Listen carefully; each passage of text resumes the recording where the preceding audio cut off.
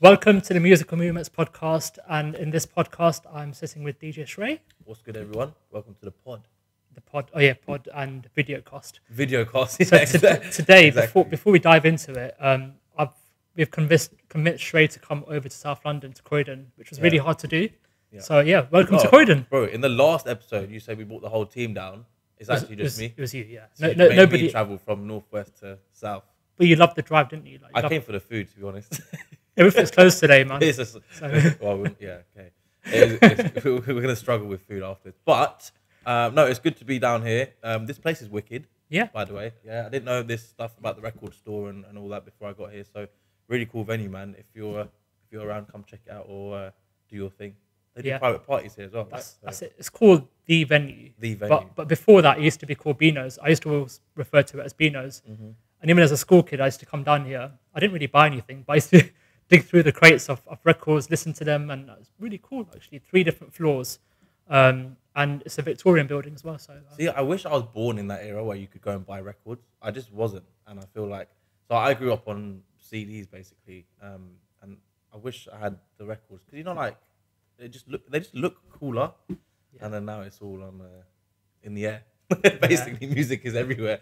well, you, you, can't, you can't see out the vision, but there's um, there's records scattered everywhere when you walk around the venue. So um, Mm. Yeah, that's pretty cool, man. That's pretty cool.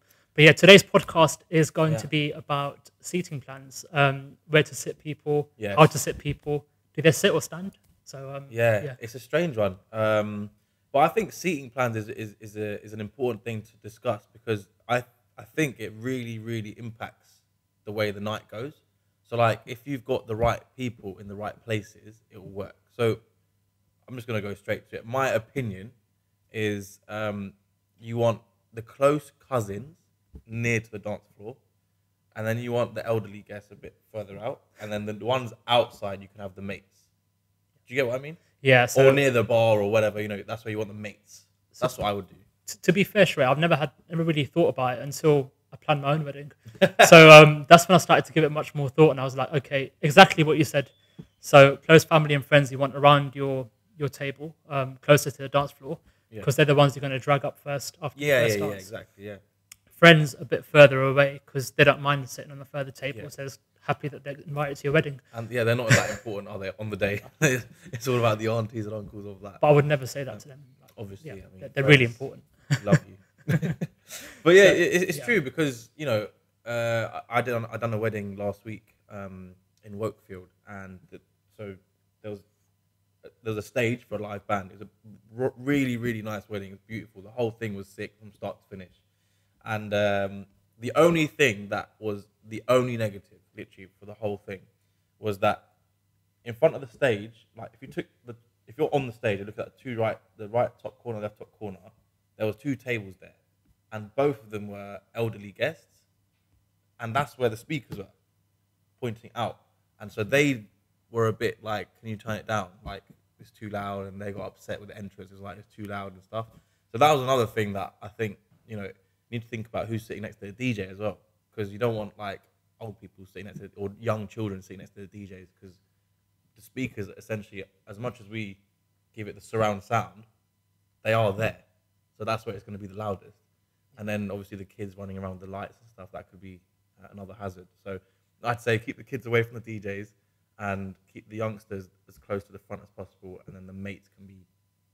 So what's the what's probably the, the worst setup that you can think of? What, what- Worst? worst, yeah. What would be your, your worst setup? You've got anyone with any sort of life in them, like all the fun people in a back corner opposite end to the bar. That would be the worst thing. That would be the worst thing because you're just like you're because you know even during the mains and, and stuff you're playing a bit of background and you want to see people nodding their head and like enjoying it. Um, but then again, to be fair, you don't want to offend your elderly aunties and uncles who you know obviously you've, you've grown up with them and then you're like oh, okay cool you're sitting like quite near the back. That's also quite rude. So you need to have a balance, but it's, it's tricky. It's not easy. You know, you're, you're planning your, you've probably done your seating plan by now. Yeah, Was it yeah. I've. I've got you two as a back, bro. But no, no, I'm playing. I'm playing. I'm playing. I'll be at the bar. Don't worry. But um, for me personally, the, the worst place you could put the top table, um, so forward, forward thinking a bit more, Yeah. is on the stage where you're performing. Um, I've had that a few times, and I've had a screen behind. So that's probably the worst setup. You've got a screen behind your DJ booth, and then you've got a top table blocking that screen. Oh, I see. Yeah, And, yeah, yeah. and then people that are doing speeches, they're, they're looking at the screen, and the bride and groom have got the back face to the screen, the and they're, yeah. they're having to turn around and do all that kind of business. Um, but also the a music, good point with they the won't really. yeah. The, the speakers are kind of centered to the crowd and not to the top table, which is on the stage with you for some reason. Um, so yeah, I think that's probably one of the worst places you can put the top yeah, table. that's an interesting one. But I, I don't I don't know about head tables generally. I don't really get it. Like I understand obviously who sits on there. Well, who sits on there? Who is that? Like, what do you think? Who who should sit on the head table? So- if there is one, I don't believe there should even Yeah. be one. But if there is one, who's on it? So I've had a situation where it's just bride and groom on their own. I've done but, that but that, that's that's quite awkward. I was thinking, they're sitting next to each other. Yeah. as well. So you can't really talk. Like it's, it's a bit weird. You, you're both facing this. I, I don't I don't get it, man. and the thing is, you're never really by yourself because people keep walking up anyway. Yeah. And I find that you tend to move around anyway. Like, Well, that's it. So- Exactly, yeah, and so- I feel bad for the bride and groom because everyone comes over when they're eating, so like they never get their they never get their meal done ever because you got like 150, 200 people all at once coming over to say hello and congratulations, and you're trying to eat. it's, it's interesting you mentioned that because one time I did kind of keep an eye. I was just gazing around the room when I'm playing. When you play background music, you tend to pick up people's vibes and stuff. Yeah, um, whilst they're eating. And I was looking at the bride and groom, and, and the, the poor bride and groom, they were touching the plate, putting the fork in, and putting it to their mouth, and somebody will walk around, and then had to put the fork back down. So by the end of it, I looked at it, and, and I had to announce the, the, the first round of speeches at that point. But their plate was pretty much untouched. Like the, the fork was still in the paneer. still got that one paneer cube on there. Yeah, it was on the, the that one cube was on the. I felt so bad for them. I was like, this is. well, I think that's part and parcel of you know it's your wedding. You're going to be on the cameras and all that all day, basically. And I think regardless of where you sit, you're going to have that issue that people are going. Well, it's not an issue, but people are going to come round to you. Um, but but top tables, should you have them? That's that's the big question. Would you would you have them at your own wedding? Look. I, I, I get why people have them. Um, and you know, from our experience in weddings, it's usually bride and groom, siblings, and then do you? Uh, sorry, parents, siblings, and then do you put the siblings partners if they're married, or it's it's a difficult one because um, it- depends on the capacity of the table and, and how long should you have the table. and Like, then what if one side's longer than the other? That's It it. look weird. should you have like 13, 14 people on the head table, and is that right to do that? So um, Yeah, because you could have like a bride and groom, their parents. Let's say one of the parents is no longer with us, and then you've got the, the siblings, and let's say you've got like no siblings on one side, and then you've got like three siblings on the other side, and they're all married. Then how does it? Do you know what I mean? Yeah, it I think it, it depends. I think you got to weigh up the, the pros and cons and how much space you got as well. How So if you got if you got a small venue, you don't really, really want, want to be cramming on Yeah. all the family members onto the small table, and um, even the formality aspect aspect of it. Like, is it a formality having a head table? Um, is it merely a Well, formality? it's a, it's, I suppose it's just a tradition, right? Um, in in I suppose all nationalities, I, I guess, I, I, from what I know. Um, my advice would be scrap it and put the bar there instead. It's a good shout. So I done that that wedding in Wokefield I was telling about earlier. They had so we had DJ booth on top of a stage where a live band was um, before we started.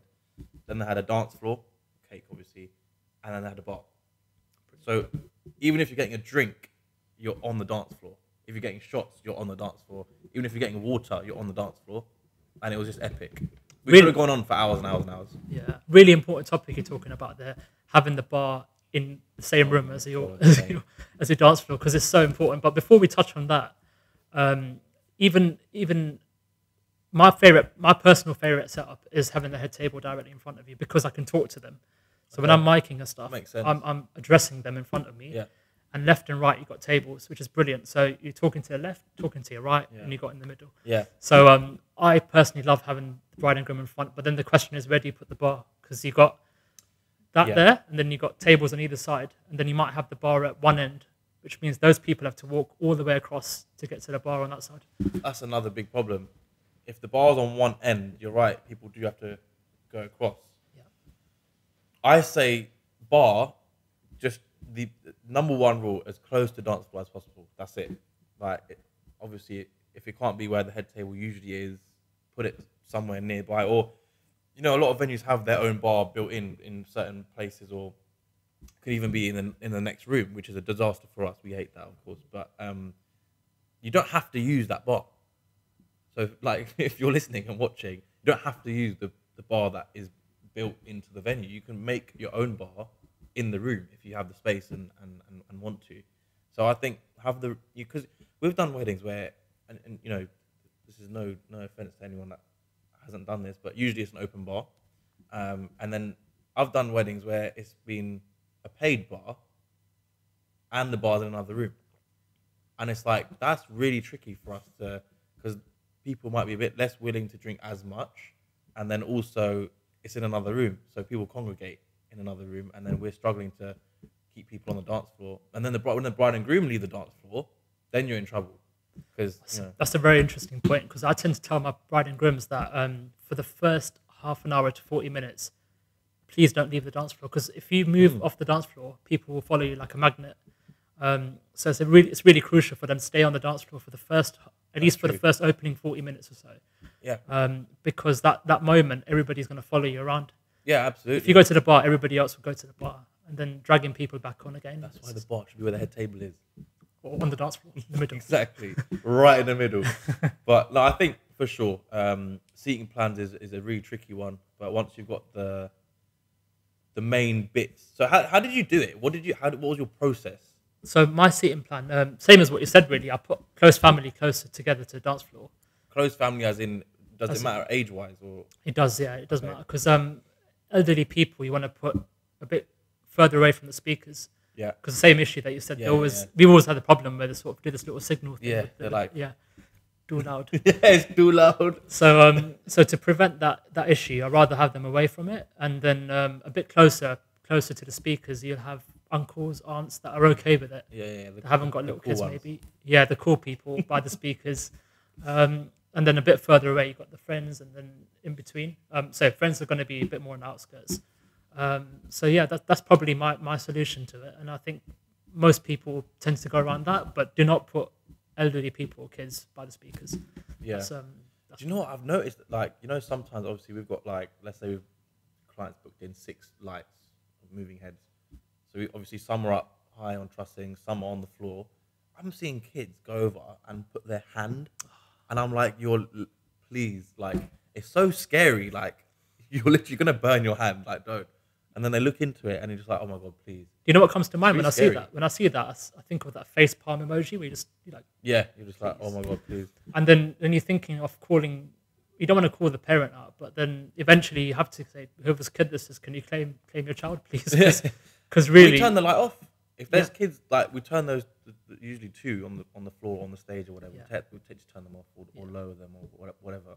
Um, speaking of which have you had a situation where the kids have come on um, or they've been close to coming on during the dance first dance or just before the entrance and they kind of hijack the dance floor Yeah. and the parents is chilling in the corner or something yeah, yeah, they just chill. Especially in speeches as well. They do Yeah. that as well. Like, like you know, say a little kid's dad is giving a speech, like one of the best men or whatever, and then a kid runs on and he steals the show, and the speech is ruined. I've had that a couple of times. I've never had it before an entrance though. Um, but yeah, have, have, you, have you had that? So I've had that during the speech, like you said, and then they've got to, they've got to balance the microphone And with, the- with the kid, And, the speech is I- there, and the drink's there, and it's all a bit of a mess. and sometimes they don't even know who the kid is. Yeah. So they're, they're picking up this kid, random kid. But if you're the if you're the parent, Yeah. surely you're gonna be like, oh, I better go and get, you know. Yeah, but I've seen some parents where like they're like, should I get up? Should I not? There's a speech going on. Should I? And they're I in, think it's cool, man. Look, Yeah. speech going on, your kids run on, like it's, Yeah. like, it's it's normal, like it's fine. Just go and get your kid. People will make a laugh, you know, be, bit of a bit of a joke and that. Take the kid, take him, put him in an Uber, send him home, get rid of him. But speaking about kids, um, the bit that scares me the most and gives me the most anxiety is when you got the cake that's perfectly Oh, situated in the middle, Mate, honestly, the, And- the- yeah. and then you got you got it's not even kids, it's adults too. It's not just kids Come kids. really close and take pictures. I'm like, Yeah. don't walk too close to it. I, Like I've had a situation. some people's dance floors are a bit, you know. Yeah, I've had a situation straight when um, the cake was top heavy. So Oh, when they made you can yeah, you and it was top heavy. When they went to cut the cake, um, they dug the knife in, and the whole thing just toppled over. And the photographer he snapped snapped away, and um, you could see him trying to catch the cake. I've, and- this went viral. This picture, I think. I've, Maybe, I've maybe it seen did. it. That was the wedding that I did. It was a red cake or something. I, I think I remember seeing this. Yeah, Maybe tried- sent it or I don't know something. Yeah, the poor bride and groom tried to catch the cake, and the bride was just in shock. She was like, and the groom was like, What kind trying of to do like a goal, was it? It on- goalkeeper dive. Was it on their clothes? Nah, luckily Okay, that it toppled to the side, but even then it was top heavy, and and um, What would you do if on your wedding, yeah, whenever it is, whenever this podcast comes out and stuff, but when you cut your cake, are you doing a cake? Yeah. Okay. Because I know you weren't too fond of the entrance. Yeah, so I- I'm not. It's strange being a DJ, and um, we're all a centre of attention. But personally, I I rather just flow into the venue and start a party, and that's it. We're good to go. You know, um, I'm not. I'm not too keen on entrances and all the formality stuff. Interesting. So um, it's really strange. I wasn't too keen on it, but in the end, we have got an entrance. we have got After all of that, you got So entrance. I had to, had to compromise a little bit, and and um, actually, I've made a custom entrance, which I'm going to send to you at some Oh, yeah, point. yeah. So there's about four or five um, DJs at the reception. Thankfully, I've got the MM team there. So yeah, You're doing it for free. if you bro. want to book four or five of us, then that's that's the way to go. I'm actually so- looking forward to it. Good fun. Yeah, it's the first time we've been out. Is that what bit I'm doing? He hasn't even told me what I'm doing. Am I doing that, that bit? you are DJing? Yeah. So Oh, I'm DJing. Okay.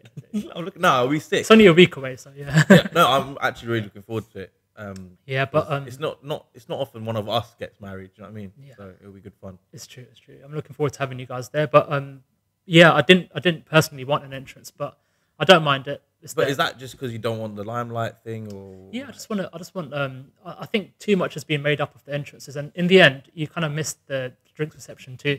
Yeah, that's true. So um, I'm going to miss my own drinks reception, which I want to. I want to be there for. I want to spend as much time as possible with the guests because, everyone there, yeah, especially in the UK, you have limited time. You've got six, maybe seven hours if you're lucky, off the wedding reception. yeah, Now you di- divide that up completely. It's not much time, you know. So um, if you're missing about two hours of, or one hour of, of that six seven hours with your guests, it's true. it adds up, you know. And then you miss another half an hour trying to get people seated and stuff. Yeah, And then you got your entrance. Um, that was my thought behind it. But um, makes sense though. So you're gonna just flow in, I was gonna. or what you were, Yeah. and so what was your plan with the cake then? The cake was just just announcement. The cake, Just quick announcement. quick announcement. Cut the cake. Even speeches. Like um, I know most people do speeches, and, and it's great. Like some people are good at doing speeches. Some, Can we try something at your wedding? yeah. You know the glass when people tap the glass. Yeah. Can we just try that instead of Do you like that? See if it works. But, but knowing my luck, I'll probably tap it a bit too hard. Anyway, Yeah, it's exactly what I don't. Champagne everywhere. That's it. That's what I don't want to happen. oh my god. Um, but but yeah, I, I'm not too keen on speeches myself personally. But it's great when people do them correctly. But then But- that's you know when you get things like so you got your entrance and you got cake, then you got speeches, and then you get people doing dances, and then it- that whole thing. And we, we, we've we've done an episode on on like itinerary. This is just eating into partying time. So yes, it's great entertainment, you know, for the best man and the bridesmaids and the siblings and all these youngsters to do funny stories about right. It's great. It's so much fun and it's great to listen to as well as DJs.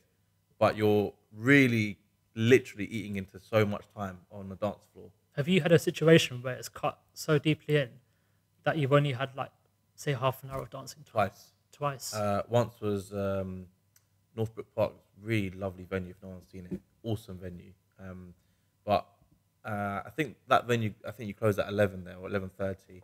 But what happened was um, they'd left two hours to dance, which was great.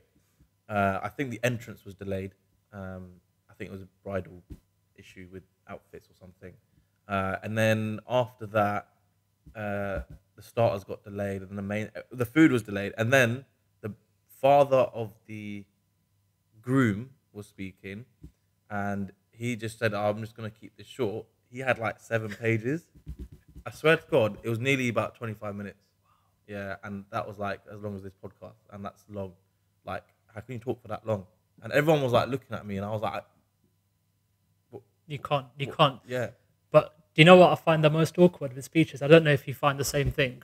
It's end of the speech. When is the end of the speech? Because oh, some people they, they'll talk and then they'll just it's like, it sound like they're stopping and they're ending, and you try to pick up your microphone and say, "Put your," and then they carry on talking Yeah, about again. yeah. And and you just don't know. So what I, what I, what I started to do is I've started to fade in the music, the outro music. oh yeah." So I give them an intro music and outro music.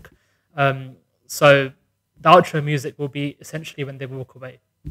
So I'll start fading that back in and then I'll announce after. Because there was a time when I announced it and they carried on talking. I was like, okay. you know what? That's that's true because traditionally, or or you know, um, usually, the, the thing is that at the end of the speech they say, "Give up the bride and groom, cheers," and then you think, "Okay, that's done." Then sometimes they do a ne- like an extra bit, and you're like, oh, "I was not expecting that," and then you look a bit silly. Yeah, exactly, fading the mute. I've done that a lot, to be fair, like because sometimes people just say thank you and people clap. So you put the music back on, and you're like, "Great," and then they're like, "Oh no, no, no, no," and they keep talking, and you're like, "Oh." So sometimes I just jump on it as a joke, like, "Oh mate, I thought you were finished, mate. Sorry," and then sort of get over it. But it's a bit of a strange one. you, you might have touched on this previously, but speeches. Okay, as we're on the topic of speeches anyway, but Yeah. um, microphones. Now, Oh have you God. had the situation where they start off there, which you, we always suggest that you put it to the to the chin, um, or around the chin anyway, and then they start going further down, and sometimes they start waving it around Yeah. like this. We're gonna do a whole podcast on on speeches, but this is so true. No, literally, we could do like five podcasts on speeches. Honestly, this is so true. Like, and then some people have paper, they're reading off their phone, and then they got, and then they're articulating with their hands, and it's like it sounds like it's like whoa. it's like what what are you saying? Like, stay keep them. And I always say, I, if I can, I'll go up to whoever's speaking before I give them the mic, um, like during the mains or whatever. I'll give them the, their mic so it's ready, and I'll have mine in, in, in the booth, and I'll say, look, I know it sounds really stupid, but please talk into the mic. And they're like, oh yeah, obviously, and I'm like, okay, great. Speech comes, and they're like talking like this, and I'm like, no, talk into the mic, and you can't say anything when when they've started. It's really hard, and then you're trying to turn it up, and then people are at the back they're saying can't hear, and I'm like, yeah, we're nearly on full volume, and they're gonna get feedback, and then when they do bring it back, it's like, oh my god, Do you know what? I'll start doing in that situation? I'll start looking at the photographer because they're directly in front of these people, and I kind of catch the eye contact and I go, yeah, yeah, yeah, oh, and they tell them, yeah, and then they sort of do the same thing, and then they sometimes good idea. hopefully realize that they've got to lift the microphone a little bit. yeah. The the other option is we get lapel mics. Yeah, that's a good shout. they- But then you got to clip it, unclip it, and you got to so- clip it, and also if it's a lady and they've got hair and outfits, and especially Indian outfits, you know, you got, the blouse, um, not the blouse, what's it called the the shawl and stuff, Yeah. and it gets in the way and get a bit of a scratchy sound. But the, apart from that, I think lapel mics might be the way forward Yeah, because that's a good shout. especially for blokes, like just ping it here, you're good. I'm a huge fan of the headset microphones. You know, you just come round over here and you just you feel like, Like you're a- singing, but you're not really singing. You also look like a personal trainer, like doing a spin class. Yeah, or, or a priest. Or a priest, yeah. So- To be fair, priests have got better. I think they've got much better at using these mics. They, Yeah. they were really bad like five, ten years ago. Like they had, like it was, they couldn't, they, they didn't know how to turn it off and on, and everything's getting in the way, and then they're they're, they're forgetting that it's on, and they're saying stuff like, "Oh, pass me that coconut over there," and you're like, you, you're announcing this to like a thousand people. like I've got to say, you've got to love priests. Um, and Right. and I mean, you work quite closely with a yeah. lot- a lot of them, right? I mean, it, it can be comical sometimes what what the, the habits and stuff, but um, I think a lot of them know that this is the situation, this is the drill. The one thing um, that I always say to them is that when you turn a microphone on, give it a couple of seconds and then it's turned on. Yeah. If you start talking straight away, it's not going to work. Um, so over time, they've, they've got better at realizing that, I think. And, and yeah. I mean, it's a host. They're a host, aren't they? So they're hosting the wedding ceremony. Yeah. So it's really important that they they they know these things. Yeah, I mean, some priests like the handheld thing. Some priests like the, the headset one. Um, to be honest, if the headset mic looked nicer, I would say use it for speech. It's just because it's so it's, it's black, firstly, right? Which is it, you can see it obviously, and it's just it just looks ugly on someone's face. So maybe we need to look at some better looking ones. make it blingified and stuff. Yeah, Cus- customize you know those really headset. thin ones that you see some football commentators use. That they're really thin, and sometimes they even tape it down to their face. Which I'm not saying we should do that, but like, do you know what I mean? Yeah. they're they're quite good. That's a good idea, actually. Yeah, Maybe we should tape it because that way they won't they won't start picking it away and stuff. So can you imagine taping a microphone to someone's face? Literally, God. But I think with speeches, um, Yeah. you know, like I said, we're gonna do a whole episode on them, on on on them. But I feel like firstly, like you, you hear the same things over and over again. So if you're doing a speech, come up with something new, keep it short, and just like be happy and positive, and then that's it. That's all you need to do. You don't need to spend 20 minutes talking about when you first met the bride or when you first met the groom, unless it's the groom giving his, the, story or or the best men giving the story of the. you don't need to tell them your life story with the bride or the groom. Do you know what I mean? So like, I'm not gonna go on stage at yours and say I first met Vish when I was this old. And, you know, I don't think that's relevant. No, no. Just keep it short. Yeah. People tend to lose interest. yeah, it could be like, oh, we met at school and you know we've been friends. Here's a couple of funny stories, whatever. Bam, yeah. five ten minutes. I t- how, how long do you give people to do their speech? Normally, I say don't do them. Um, but if, they, if they have to do the speech, yeah, I'll say to them five minutes, ten minutes tops. Um, I'm, I'm always against presentations. I don't like presentations because when you start doing the PowerPoint presentations as if they were in school or something, um, it will go on a lot longer. Sometimes there might be technicalities or there might be issues. I'm always against it because it that cuts into the time. And Yeah. I've done so many events, countless amounts of events, and, and at these events they um, run over the time Yeah, because they change between slides, they forget what they're saying, and then they explain one slide too much. and knowing our luck that we get sent the PowerPoint on the day. Yeah, And then USB. it's, yeah, USB or, or like 10 minutes before, oh, we got a USB. And I'm like, yeah. what do you want me to do with this? So yes, But we, we usually Yeah. do accommodate. But I always ask for everything a week before. yeah, I say, if it's, I, I say to them, like, I need it seven days before. But, you know, if they're a couple days later, it's fine. But, and, and also, what's your take on performances at receptions? Um, dance performances, be it a nephew, niece, cousin. can I be honest? Yeah, Unless you're really, really good or it's a comical one and you're really, really bad, don't bother. Basically. So, like, if you got all the cousins who have two left feet doing a dance and they do like the funny ones like Gangnam Style and all that, or whatever it might be, right? That are actually funny, yeah, great. Or if you've got a cousin who's extremely talented and she's a very good dancer or something, go for it. Otherwise, just sack it off. Yeah. Just leave it. I mean, I kind of suggest the same sort of thing. I always say to them that do it at the Sangeet party or the Mehndi party. Yeah. At the reception, is so time restrained that you want to have maximum time on the dance floor or with with Yeah. with the people that are there with you. Well, I've even suggested people do speeches in other uh, other events. Yeah. So like, do you know if you can't get all your siblings to speak on the reception, do it in the in the Mehndi nights or Or Sangeet night, whatever. do it in your own house. Yeah, or yeah, do it on WhatsApp. you know what I mean? Thanks for being my big sis or something. You know, that's it. Yeah. No, it's, it's a good. Um, I mean, a good idea to, to do it separately because that time it flies by. I can't I can't stress that enough. Like Yeah. that, the moment you enter, it's pretty much a blur to the time it finishes. That six Yeah. hours flies quicker than anything else. Honestly, I, you're so right. Like doing a plank takes ages. Like one minute will go so slowly doing a plank, but six hours at a wedding reception Can you do a one minute plank? just about. That's that's pretty impressive. I shake a little bit, but it's all good. I can't remember the last time I did a plank. I ain't been. The, I ain't been to the gym, and this is another problem. We need to do a whole podcast on this. Our lifestyle is Yeah. so wonky and upside down. Going to the gym is actually sometimes it's actually Yeah. impossible. Sometimes I know it's a bit of a segue, but but when you after you finish a gig, you come home, your ears are a bit ringy, right? Yeah, yeah, yeah. Now, and you're hungry. Starving, Starving. always because the reception food you've eaten it at seven, but you get home at like four, four a.m. or three a.m. Yeah, yeah. So what are you doing after a wedding reception? You get home at two o'clock in the well, say three in the morning. yeah. Argument's sake. What are you doing? Um, if I haven't got like a cheeky kebab on the way home, which is usually what I like to do, um, but then you can't be doing that once a week. That's it. That's, it. that's not good.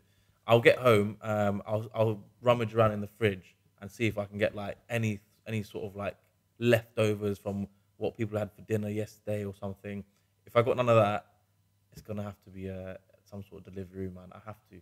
I have to eat something. I got no, I, you know what? I try and be healthy. I don't have any bad snacks. I've got no crisps in my house. Yeah. Because like I'll just eat them all otherwise. Yeah. Same with fizzy drinks. I don't have any. So like I'll just come home. If there's nothing that I've made or something, I have to deliver, get something delivered in. I have to. And that that's you're right. You, your ears are ringing. You've probably had Red Bull to get home. Then you eat. You know, after making something or, or delivering, getting something delivered, and then you go sleep on a full stomach I after, having, after having a Red Bull. You can't sleep. Yeah, I can't sleep even Yeah. after food. Like I've got to I've got to wind down and watch something or do something. Yeah. So by the time you get to bed, it's about four four four thirty. Yeah, and then people were like, "Oh, you got up at midnight, to, uh, midday, midday today." I'm like, "Yeah." Yeah, because they think you literally finish a gig and you get home and sleep. Do you know what the biggest question, the do. most question? Swear I get this the most. Yeah. So what do you do in the day? And I'm like, let's Sleep. just another podcast. let's just leave that one there. But we talked about a lot in this one. To be fair, we did um, head tables, top tables, who should be on there, who shouldn't, where to seat people. Um, Yeah. we, we talked about your your actual wedding and your your entrance fiasco, which you're now doing. I'm doing an Was entrance. that more of a Mrs. thing? Did she? Yeah. We won't tell her that though. No, Yeah, I wanted an entrance. I love entrances. he loves entrances. Um, Uh, and then we went on to talk about microphones and speeches. Food. Yeah, man. Well, slightly about food, but yeah. And uh, in this podcast, we do actually speak about pretty much anything wedding related, plus what we eat when we get home. Um, but anything wedding related in the DJ's eyes. So if you missed any episodes, make sure you go check them out. They're on YouTube, Apple, Spotify, all that kind of stuff. Um, you'll find them there. And if you've been listening to us, you can actually watch us, like I said, on YouTube. Um, but I think that's more or less it. Till the next one. Yeah. Peace.